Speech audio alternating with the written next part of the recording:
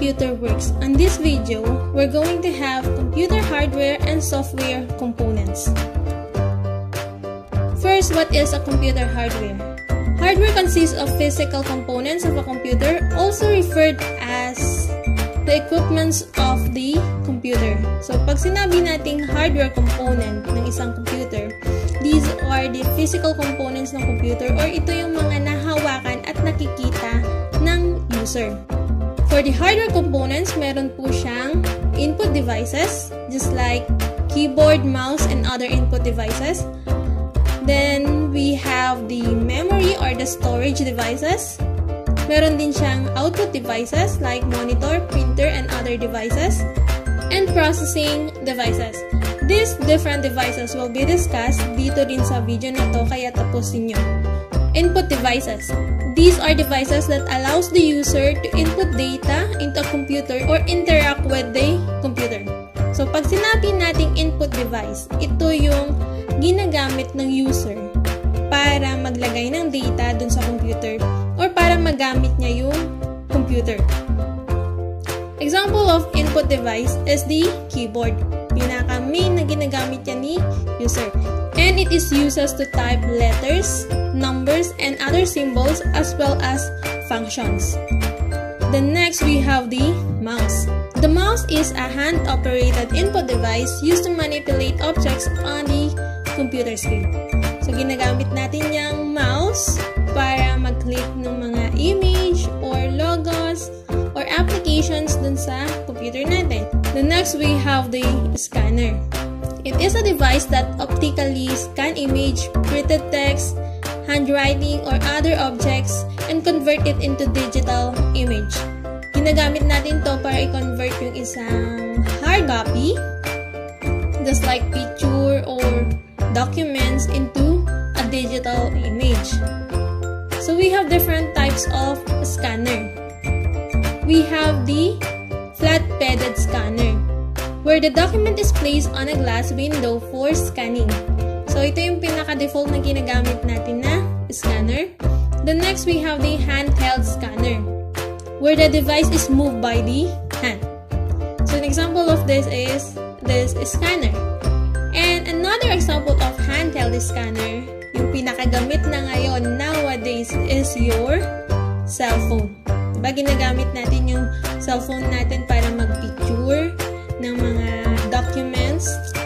Lalo-lalo na sa mga estudyante na ayaw mag mangopya sa board, di ba? Pa-picture muna, ma'am. Yung ganong style ng mga students nowadays. Then next, we have the 3D scanner. Used for industrial design, reverse engineering, test, and measurement, and other applications. So, an example of 3D scanner is ito. Ginagamit yan sa mga industries para mag-replicate or gumawa pa ng ibang product similar with dun sa item na ini-scan nila. The next, we have the memory or storage devices. A hardware device that allows you to store data for later use. Some of the most popular storage devices are hard disk or yung HDD and the solid state drives or yung SSD. There are two types of storage devices. Meron tayong tinatawag na primary storage device or yung pinaka-common is the RAM and the secondary storage device like hard drive and other removable external storage devices. First, discuss natin kung ano nga ba yung primary storage.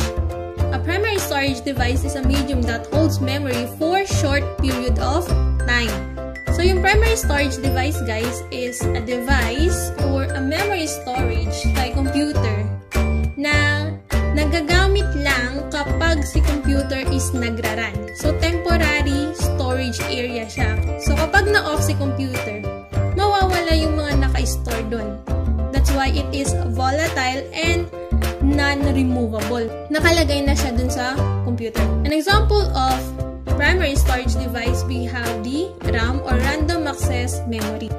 refers to a fast temporary form of storage. So, andyan yung word na fast and temporary. Kasi nga, kapag na-off yung computer, let's say nag-shutdown ka, lahat nung naka-store kay RAM, mawawala. Data and instructions that are currently being executed is stored kay RAM. The next, we have the secondary storage. Alternatively referred to as external memory. So, yung secondary storage, tinatawag din siyang external memory. A secondary storage device is non-volatile device that hold data until it is deleted or overwritten. Ibig sabihin, kahit mag-shutdown yung computer mo, andun pa rin yung naka-store na data. An example of secondary storage, we have the read-only memory or the ROM. Permanently store data on a personal computer. Contains the program needed to start a PC which is essential for boot. So, ang laman ni ROM guys is the program na kailangan ng computer para. The next we have the hard drive or the HDD. It is an example of secondary storage device. Hard disk is an electromechanical device that use magnetic storage to store and retrieve data information. The next, yung pinaka-common sa atin, yung pinaka-handheld dala-dala natin na storage device, we have the flash drive. It is a data storage device that includes flash memory with an integrated USB interface processing devices. These are part of the computer that are responsible for processing and converting data into meaningful information. So processing devices, they are the one who process and convert data into information. They are the one who receives data from the RAM, performs set of instructions, returns the processed data into the RAM. So yun yung trabaho ni processing devices. First processing devices that we have is the CPU or the Central Processing Unit.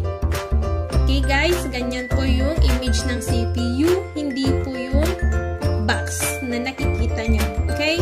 Maliit lang po yung CPU natin. It is responsible for processing general instructions. CPU is used to collect, decode, and execute instructions as required by the application. So, from the word Central Processing Unit, siya po yung pinaka-center ng processing. So, ibig sabihin, ng trabaho ni CPU is to process all instructions na binibigay sa kanya nung application, Graphic Processing Unit or the GPU. Responsible for processing the instructions that create the pictures on your screen. So, yung GPU naman guys, siya naman po yung responsible for processing instructions para makagawa ng images dun sa screen. Basic example of GPU is the video card. It is a piece of hardware inside your computer that deals with processing image and videos along with some tasks normally handled by the CPU. Then we have the output devices. These are devices that return the computer's instruction as a result to the user. The popular output device includes the monitor and the printer. So, ito yung mga commonly used output device. Number one, the monitor. The next, meron tayong projector. Pwede din yung speaker, an example of output device. Pwede din yung headphone or earphone And of course, we have the printer. Doon naman tayo kay software part ng computer. If we say software, it refers to the set of instructions a computer uses to complete any instructed task. So, pag sinabi natin software, guys, these are list of instructions para kay computer. Software is a program that is operated by the hardware. The two most important type of a software are system software, it includes your operating system, and the application software. Dun muna tayo kay system software. System software is the specific type of instruction or software that manage the flow of data and information contained on the computer. The operating system is the most important type of system software. So these are types of system software na meron sa isang computer. First, we have the operating system, then the communication software, the programming language translators, and the utility programs.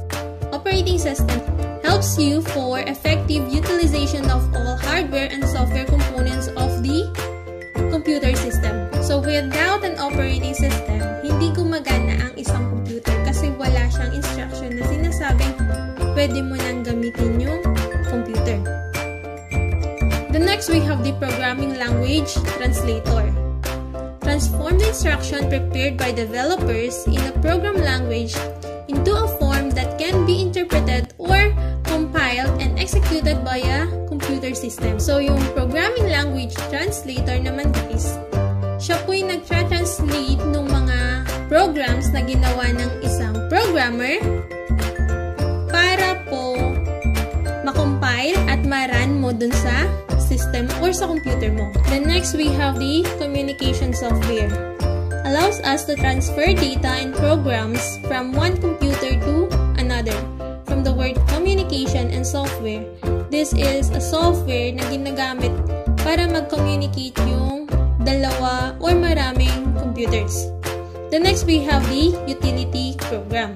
Are sets of programs that are used in system maintenance tasks and performing tasks for routine nature. From the word utility program, these are softwares or program used for maintenance tasks or para mas maganda yung paggamit natin dun sa computer. The next, we have the application software. Application software is a program that is built for a specific purpose. Ang application software naman guys meron lang siyang specific purpose na kaya niyang gawin. These types of software includes media players, spreadsheets, and word processors. Okay, so these are some of the types ng application software na meron tayo nowadays. Number one, we have the word processing software makes use of computer for creating, modifying, viewing, storing, retrieving, and printing documents. So from the word word processing software, ito yung ginagamit natin para ma-process yung mga documents. A basic example of this is the Microsoft Word. The next we have the spreadsheet software. It's a numeric data analysis tool that allows you to create a computerized ledger. A basic example naman nito is the Microsoft Excel. Then we have the database software. Collections of relative data that is stored and retrieved according to user demand. A basic example of this is the Microsoft Access. Then next we have the graphics software. Allows the computer system for creating, drawing, graphics, and others. So, ano ba yung ginagamit nyo para mag-edit ng mga pictures nyo? We have the Photoshop. Kung walang Photoshop yung computer mo, meron din naman no Paint. Cellphone, madami na tayong ginagamit ng graphic software para mapaganda or ma-edit yung mga pictures. Education software allows a computer to be used as learning and teaching tool. So nowadays, usong-uso yung online class. Ano nga ba yung mga ginagamit nyo para mag-online class? An example of that, we have the Google Classroom. So guys, kindly comment down below kung ano naman yung mga ibang alam nyo pa na education software or yung ginagamit nyo nowadays na education software. The next, we have the entertainment software. This type of application allows a computer to use as an entertainment tool. So from the word entertainment software, ginagamit siya para ma-entertain ka. An example of that, we have the media player para makanood ka. Next, we also have the games, yung mga ni-install natin na games. Those are examples of entertainment software. So dahil na-discuss naman na natin dito yung memory and operating system, sa tingin nyo guys, what memory naka-store or naka-reside si operating system? Kung alam nyo yung sagot, i-comment nyo lang dyan sa baba. Para sa mga katanungan, just comment down below at sasagutan natin yan isa-isa. Kung nagustuhan tong video na to, smash that like button and of course, subscribe for more tutorial videos. Before this video ends, gusto ko lang pong mag-hi sa mga BSIT second year students ng CSU. Hi guys!